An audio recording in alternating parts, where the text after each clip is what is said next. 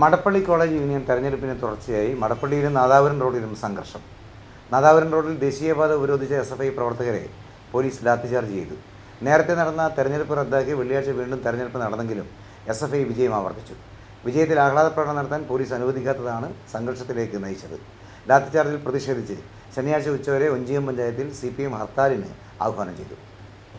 മറ്റു കോളേജുകളോടൊപ്പം കഴിഞ്ഞ മാസം മടപ്പള്ളിയിൽ നടന്ന യൂണിയൻ തെരഞ്ഞെടുപ്പിൽ മുഴുവൻ ജനറൽ സീറ്റുകളിലേക്കും എസ് എഫ് ഐ എതിരില്ലാതെ തിരഞ്ഞെടുക്കപ്പെട്ടിരുന്നു. മടപ്പള്ളിയിൽ എസ് എഫ് ഐ ഒഴികെയുള്ള സംഘടനകൾക്ക് പ്രവർത്തന സ്വാതന്ത്ര്യമില്ലെന്നും നോമിനേഷൻ നൽകാൻ കഴിഞ്ഞില്ലെന്നും അതിനാൽ വീണ്ടും തെരഞ്ഞെടുപ്പ് നടത്തണമെന്നും ആവശ്യപ്പെട്ട് ചില വിദ്യാർത്ഥി സംഘടനകൾ മുഖ്യമന്ത്രി ഉൾപ്പെടെയുള്ളവർക്ക് പരാതി നൽകുകയുണ്ടായി. ഇതേ തുടർന്നാണ് നേരത്തെയുള്ള ഇലക്ഷൻ റദ്ദാക്കി നിരീക്ഷകരുടെ മേൽനോട്ടത്തിൽ വെള്ളിയാഴ്ച തെരഞ്ഞെടുപ്പ് നടന്നത്. ചെയർമാൻ യൂണിവേഴ്സിറ്റി യൂണിയൻ കൗൺസിലർമാർ സ്റ്റുഡൻസ് എഡിറ്റർ എന്നീ സ്ഥാനങ്ങളിലേക്കാണ് വീണ്ടും തെരഞ്ഞെടുപ്പ് നടന്നത്.